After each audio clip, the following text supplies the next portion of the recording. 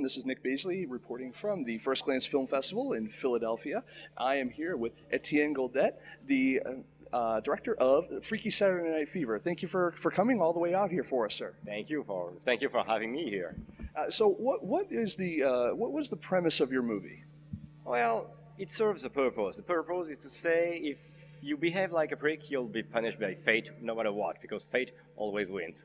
I like movies like that. I really do. Now, th- this acts a little bit of a twist too, because it, it, it kind of um, it has a bit of a Parisian feel, but also has you, you integrate Texas in there. Uh, what, what what was the, the, the thought process behind that? The thought, yeah, the thought process is that uh, usually, I say usually, there are exceptions, but usually American people hate the French because they all behave like pricks and they're so arrogant. So let's say, okay, let's deal with it.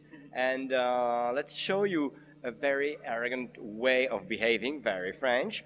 And what is the worst punishment imaginable for a Frenchman? I can't think of anything worse than being kicked over through space uh, to uh, a, dust bowl in Texas. It could be the worst punishment for a Frenchman ever. So uh, we shot it. We shot some of it in France, and then some of it in fake Texas, which was in fact the Mojave Desert outside uh, Los Angeles. Mm-hmm. And uh, but conversely, what could be the for the, the, the, the, worst punishment for a, a Texan? Mm-hmm. Well, being kicked over to France. Now, uh, you're, are you you're from France yourself? I am. Uh, did you have any? Uh, uh, did you have any issues with the language barrier between either yourself or your cast or anything like that? Working for me in America is pretty easy because I kind of I'm very comfortable with the way uh, the American work, the Americans work, and it's very easy. But I wanted the, the French audience in my film being completely lost by the, the, the, English that the people from Texas use. I mean, they have the special accent and the, a, a slightly different syntax.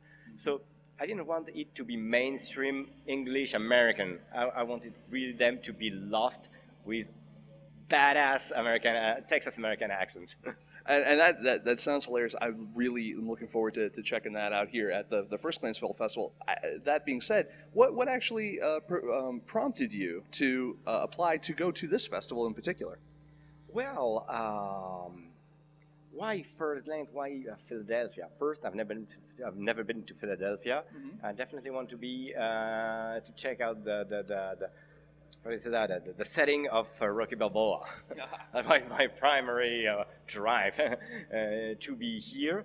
And uh, secondly, uh, I had friends of mine who had been in First Glance and told me selection is pretty okay, it's good, and your movie would fit in there, definitely you know, there are so many great, uh, you know, the, you had the French New Wave out there in, in France. You know, everyone, so many people, Tarantino, everyone, they always quote Godard and all those kind of people there. The, the, the my question is, is that you know, is, is there anyone here in America as a film as a filmmaker that influences you?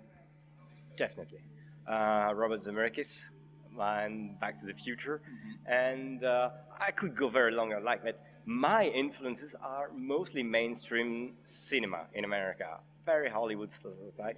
And story-driven films. I'm totally the opposite of what you think uh, uh, French filmmakers are, because some are like that, that's true, and some are not. I'm the I'm in the the the, the uh, I'm part of the of those who are not like that, and um, I I want to appeal to mainstream audiences, mm-hmm. and that is why I could um, uh, I could give you a reference that everybody would know, just not in America, but all around the world. Mm-hmm. That's my cinema. So you know, we're, we're here at an independent film festival. You're obviously your film is an independent film. Mm-hmm. You know, uh, what is the independent film world like? Uh, sometimes you know, uh, you know how us Americans are. We're very concerned about what happens here. We don't always know what's going on overseas. What's the independent film culture like over in France? It's all independent film, because if you think that if I mean, non-independent big studio, we don't have big studios. So it's all independent. It's all, some are story driven, but most of them are uh, thoughts uh, pulled off and directed by directors. They do all the work from writing, sometimes to editing, and uh, they, they, they, go the, the, whole nine yards al alone. And uh, it's all independent. It, it makes several style of uh, of films and filmings. Uh, it could be very story driven, very mainstream, or it could be very experimental. You can have everything, but it's all independent.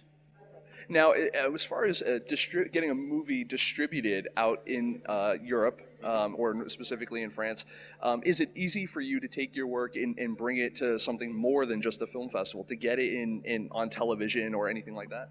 Um, my uh, main argument, I mean, my main, i- if I can get something out of my movie, if I get uh, an award, and then I will have an opening by uh, by uh, um, a TV executive because we have short uh, short film uh, channels in Europe. Oh, They, uh, they do that all day long. But first, you must get, have an award, uh, award to to to interpret them. So please give me an award, please. I, I'll see what I can do. Now, hey, you know, as far as bringing American films overseas, uh, do you see a lot of our films, uh, independent films?